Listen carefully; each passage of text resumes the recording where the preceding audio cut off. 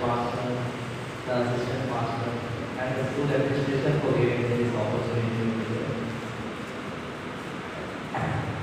Every time I come, I speak here something about nature, right? One year back, I had told something about butterfly, metamorphosis.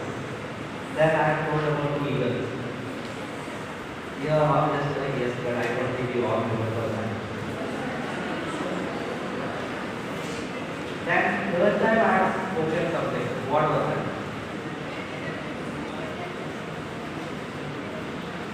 About ten living creatures, insects, birds and animals. This time also I'm going to speak about nature. Uh, before I start, the topic is success takes patience. It's about a plant this time.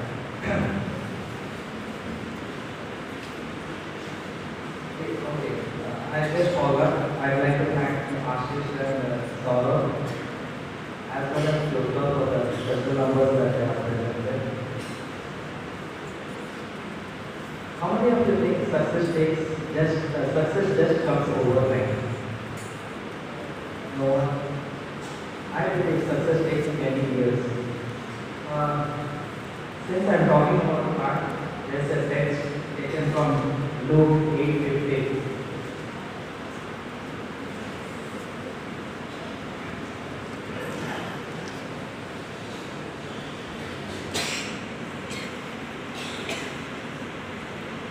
Uh, I'll read it for you. Luke 8:15. But the seed on the good soil stands for those with a noble and good heart, who hear the word, retain it, and by preserving, persevering, produce a crop. If we plant, if we take a seed and plant it, how many days does it take to sprout? Generally, two weeks, one week, two weeks. Today I'm going to talk to you about Chinese bamboo. Bamboo usually takes two weeks, but there's one story. It's uh, from China. There was a Chinese farmer, and he believed in miracles. He was a poor farmer trying to uh, feed his family, wanted to prosper, but he was unable to. So he learned about the bamboo. And Chinese bamboo is totally different than what we find. Indian bamboos, they grow in two weeks, they sprout. They take two years to be grown fully. And you can cut and present it to the paper. But in Chinese, it doesn't happen like that. So this man took the seeds of this Chinese bamboo. He went to his uh, farm, he went to his uh, field, and he, the entire field he dug on the spot and planted this, and put all the seeds. After putting the seeds, he covered it properly, and he started pouring water with the hope that miracle is going to happen, is going to become rich, or is going to feed his family. He started pouring water one day, two days, weeks, one month, two months, and six months passed. He saw that there was no sprout. And all the villagers over there was uh, mocking at him, they were laughing at him. He had become a laughter. But he had a hope and he didn't give up. In between, for his family to survive, he planted some other crops. Those are seasonal crops so that his family could survive with whatever they got. And as the crops were growing, still every day used to pour water in the pot where he had put his Chinese bamboo His crops got over, he had the, he fed the family, but it was not sufficient. And one year passed. Still the Chinese bamboo had not sprouted. Started thinking maybe he had done something wrong. He wanted to take back and try once more. But then he said, there's something called faith, there's something called hope. Hope might hold.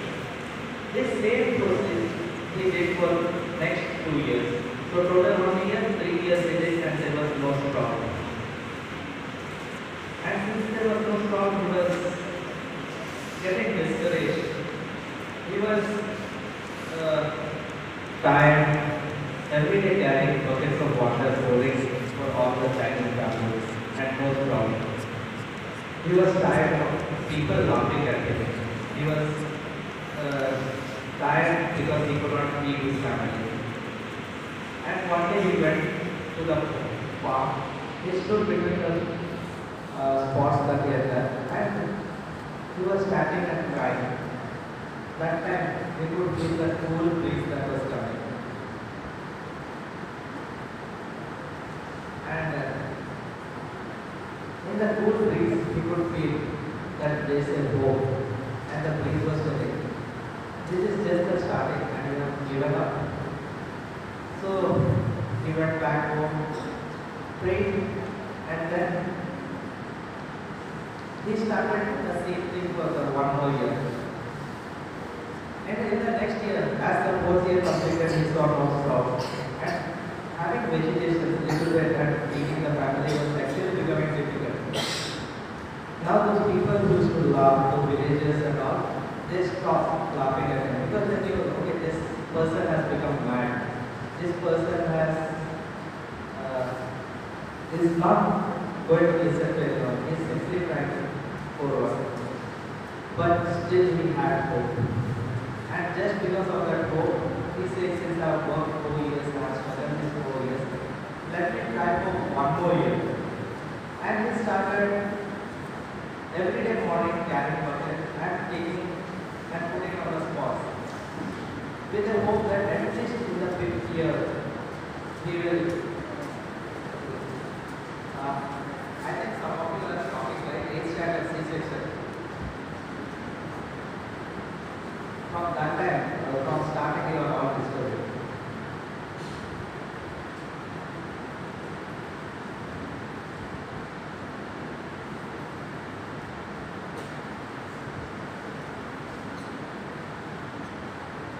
So as he was doing this, and uh, he saw that people are not responding, he is unable to feed. And he completed the fifth year. At the end of fifth year, he went to jail. He was so tired, and uh, he said, now neighbors are start, uh, stop talking to me, they think I am not mad. He said, I'm tired of falling for this. He said, I'm tired of to feed my family's want. He was trying to uh, discuss to keep his uh, dreams alive. He was tired of seeing no results day by day. He was stressed. He just saw the spots and he thought, this is the end. Let me remove all the seeds that are. He thought maybe he had fed the seeds wrong. He thought maybe he had poured water wrong. And all his dreams were given up. And he went back to his home that night. He just lay back and he thought. And suddenly something came up in his mind. Okay, since I have struggled five more years, five years, let me try just for a few more months to not give up and start the seasonal crop. Next day morning, he started taking bucket of water and he poured. One day passed, two day passed, after one week. There was a commotion. He started running in the streets and came back to his, calling his family. And all his neighbors were shocked like what had happened. Suddenly this bad person has become over extremely mad. And uh, then they saw that he was shouting with joy. And he took his family back to the field and all were standing. So neighbors were curious, they wanted to know what was happening and they could see small green sprouts over there in that. So how many years it took? Five years. After five years they stopped. And his hope again. His faith was good. So he started pouring water. In next five weeks, the bamboo tree grew from one feet into five feet, 10, 20, 30, and it grew 90 feet in five weeks. And people started admiring it. People started talking good about it. Those who are were talking bad about it. And uh, they all knew that, okay, he had growth. From here we learned something. We learned, we learned that we have to plant a tree like this Chinese man. We learned that we have to do daily things that will come to a reality. We learn to ignore those say it couldn't happen. Sometimes what happens? When we plant a tree and someone says the tree is not going to be successful, we give up.